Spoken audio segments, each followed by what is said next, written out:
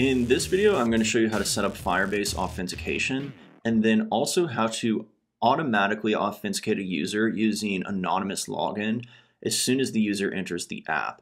So the reason we're going to do this is because we don't actually want our users to log in, or at least we don't want that feature yet. So we're going to immediately log the user in just so we can get a user ID, and then we'll later use that user ID to keep track of all that user's specific data, but the user won't even know that they're getting logged in or having an account created for them. It'll just feel like they're just using the app. So let's get started. So the first thing we're going to do is open up our pubspec.yaml and we need to add the Firebase auth dependency. And then we'll run pub get then we can go over to Firebase itself and we need to actually enable authentication. So within our project here, we can click get started on the authentication. And the only one we're going to enable currently is the anonymous authentication. So we can hit save there. So now anonymous authentication is enabled and you can go over to users here. You'll see we have no users, which is expected currently. So back in Android Studio here, we are going to go into the services package here that is currently empty and we're going to add a new Dart file. And we're going to just call this the auth service. So this is going to be a custom class called auth service. So the main thing we're interested in doing here is creating a function that can check to see if there is a current user logged in. So our app right now has no current user logged in. And if that's the case and there's no current user, then we want to create an anonymous user and and log that user in without the user even knowing. And then next time the user comes to the app, they're, they will be logged in. So it should find that user ID and not create a new user.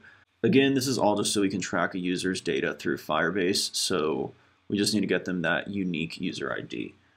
So this is actually relatively simple. We need to create an instance of Firebase auth.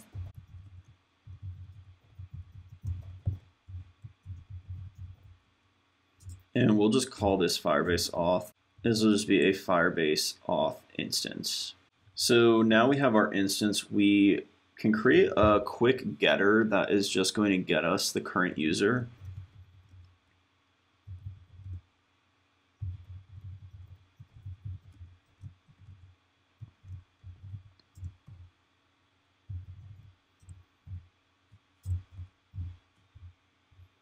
And this is complaining here because we actually have null safety turned on. So potentially a current user could be null here. So to change that, we just need to make this return type nullable.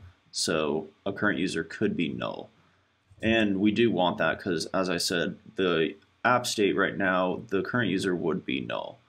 So now we're going to create that function where we're going to get or create a new anonymous user and this is going to be a future that is going to be returning a user. And it will always return a user because we're either going to get the current user or create a user. So we'll name this get or create user.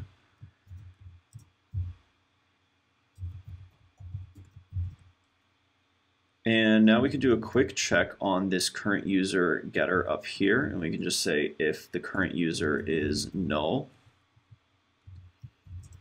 then we're going to actually create the user. So we're going to await a call to Firebase auth, and we're going to simply call sign in anonymously. Now that we'll be signed in, we can actually just return we can actually just return that current user. And again, we're going to have to make this return type nullable because in theory this could be null, but in actuality it never should be because really what we're doing here is checking if it's null. If it is null, we're going to create a user, which in that case, the user will be created. So when we come down here to make this call again to current user, at that point, it will get that new user that was just created.